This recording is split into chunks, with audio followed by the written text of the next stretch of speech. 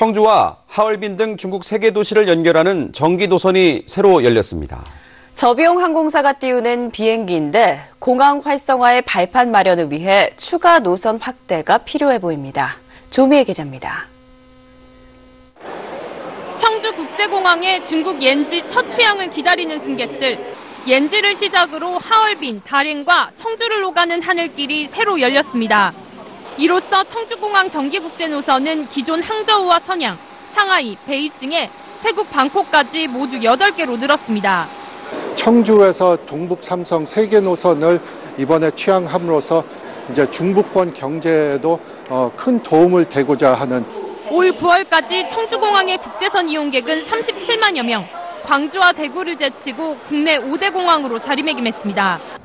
하지만 활주로 확장과 항공정비 산업 유치가 지지부진하면서 청주공항 활성화를 둘러싼 고민은 여전합니다. 충청북도는 저가 항공사 유치에서 돌파구를 찾고 있습니다. 저가 항공사 아, 이것을 좀 대량으로 우리가 유치를 해서 우리 청주공항은 그야말로 신수도권의 중심 공항으로 어, 우뚝 수 있다.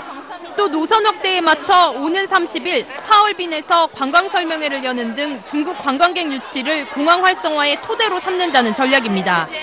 MBC 뉴스 조미애입니다.